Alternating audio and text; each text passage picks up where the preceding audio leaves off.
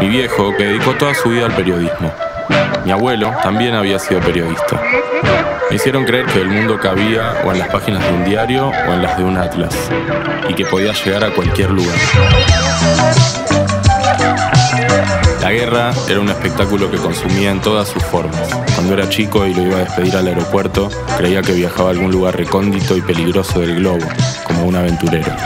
Cuba, Brasil, Uruguay, Chile, Alemania. Y a ninguna guerra, nunca. No, ninguna guerra. Entonces mi viejo nunca fue a una guerra. Pensaba que sí.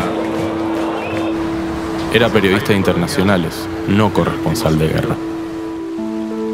Mi papá intentaba conseguirme buenas entrevistas con sus colegas.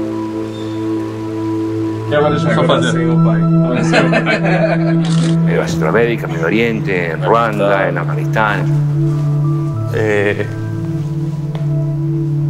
Me sentía desafiado por mi propia incapacidad de entrevistar. Había que continuar, ir al frente, ir a la guerra.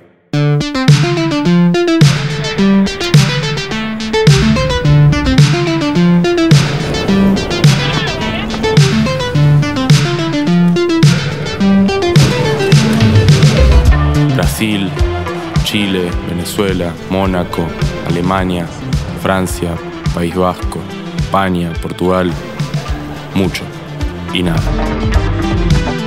La calle es global. Estés donde estés, hay calle, hay gente, hay historias. Y tenés que sorprenderte. Si no, dedícate a otra cosa. Si no sos curioso y no te sorprende nada, ¿para qué viajas? ¿Para qué escribís? Yo te diría para qué vivís. La y todos corren El emperador solar solo quiere vernos